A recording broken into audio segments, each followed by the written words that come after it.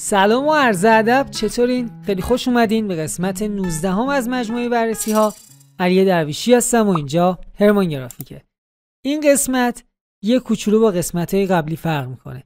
تا شما این ویدیو رو لایک می‌کنیم منم در مورد این قسمت توضیح بدم. یه سری کارا رو آوردیم که قبل و بعدشون تفاوت خیلی کمی با هم دارن. می‌خوام بهتون نشون بدم که تغییرات کوچیک چه تأثیری روی دیزاین شما می‌ذاره. بریم برای اولین کار. این طرح رو ببینید. به این قسمت که وسط نیست دقت نکنید. فراموش کرده. ببین اینور نیم سانته تقریبا اینور دو سانته. اینو کاری نداریم. یه سری اطلاعات آورده و مشکل من با این قسمت وسطه. یه حرکت خیلی قشنگی زده تو طراحیش. ببین اگه این کادرا رو نمی آورد و فقط می‌خواست این نوشته رو بیاره که اصلا اسید می‌شد. سم. این کادرا رو درست آورده. ولی چرا چیدمان این شکلی؟ چرا چهار ردیف؟ این قسمت ها رو می‌بینی خالی مونده. بهتر اینجور جاها این کارو کنی. به جای اینکه چهار ردیف داشته باشی اینا رو دو به دو روبری هم بذاری. یعنی چی؟ یعنی همچین چیزی بشه. چند بار قبل و بعد می‌کنم دقت کن چه اتفاقی افتاده. این چیدمان بهتره. ببین این قسمت بالا رو می‌بینی اطلاعاتو. این پایین رو می‌بینی. این هم میاد همبان میشه. این نظم خوبی می‌گیره. و این فضایی که اینور و اینور خالی بود و ما میدیم به قسمت بالا و پایین. بریم سراغ کار بعدی. این یه بیلبورده. یه بیلبوردی که تو سطح شهر مثلا می‌خواد استفاده شه. مشکل اصلی.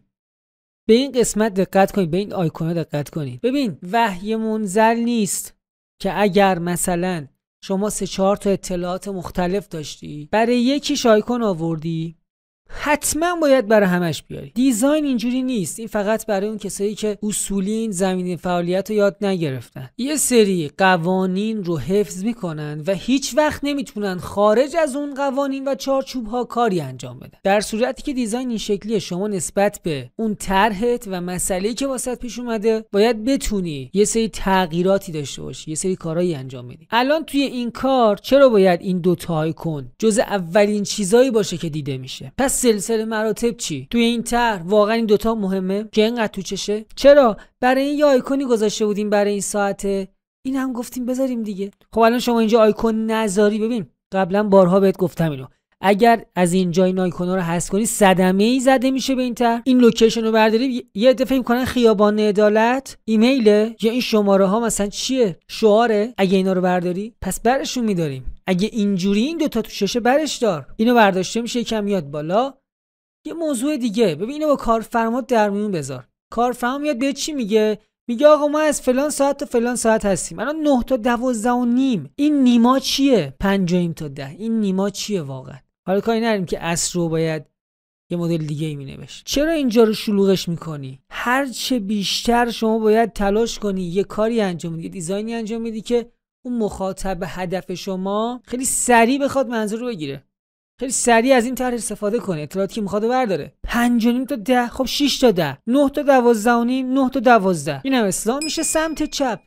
یه تصویری داریم که عکسش خیلی خوبه. ببین عکسش واقعا خوبه. خیلی خفن داره اشاره می‌کنه به جواهرات این شخص. همیشه بدرخش. نسبت به شعار انتخاب شده. واقعا عالیه. مشکل اصلی که من با این عکس دارم اندازشه می‌تونه بزرگتر شه و بیاد یه ذره اینورتر. ببین اینجا نباید انقدر خالی بمونه. یه ذره بیاد این ورد تغییر می‌کنه یه نگاه بهش بندازیم. یه کوچولو هم رنگو تغییر کرده خیلی مشکلی نیست. اصلا اصل موضوع این چیزایی بود که اینجا بهت گفتم. آیکون اینا و این عکس. چند بار قبل و بعد می‌کنم. ببینید چقدر این بهتر شده. اینجا این دوتا چقدر تو چشه و اینجا ببینید چقدر خوب جمع شده کار. اندازه عکس رو ببین. این درسته. بریم سراغ کار بعدی. اینجا. در نگاه اول شما میگی خب چی رو می‌خواد ایراد بگیره؟ بحث ایراد نیست بچه ها گفتم اول این ویدیو گفتم. می‌خوام بهتون بگم تغییرات کوچیک چه تاثیراتی می‌ذاره. و شاید از دید یه سری مخاطبی که طراح نیستن اینا اصلا به چشم نیاد. ولی من درویشی که طراحم یا هر طراح دیگه ای تو این چیزاست که فرق طراح متوسط و حرفه رو می‌فهمه. اینجا فست فود باژه واقعا واجبه که انقدر بزرگ باشه روی این بروشور. از اون ور و این ور کلا چند میلیمتر فاصله داره. خب اینو کوچیک‌ترش کن. چه چه اتفاقی میفته اگه این کوچیک‌تر؟ چه صدمه ای به تر وارد میشه؟ خب درویشی بزرگ باشه چه صدمه ای وارد میشه؟ خب این چیزی که داری می‌بینی. طرح داره خفه میشه. جو برای نفس کشیدن نیست. بارها این نکته رو بهتون گفتیم. بارها و بارها تکرار کردم تاکید کردم که آقا خانم اطلاعاتتو سمت حاشیه ها نبر خیلی نزدیک نکن. ببین خب این مگه چشه؟ این به این خوبی؟ تا وقتی این هست چرا این یکی رو انتخاب می‌کنی برای چیدمان و اندازه؟ و تمام.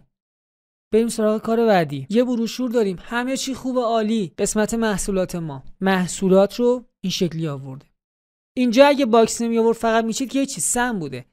box هم که آورده می‌تونه قوی تر و بهتر عمل کنه. چرا اینقدر تاکید دارم رو محصولات ما؟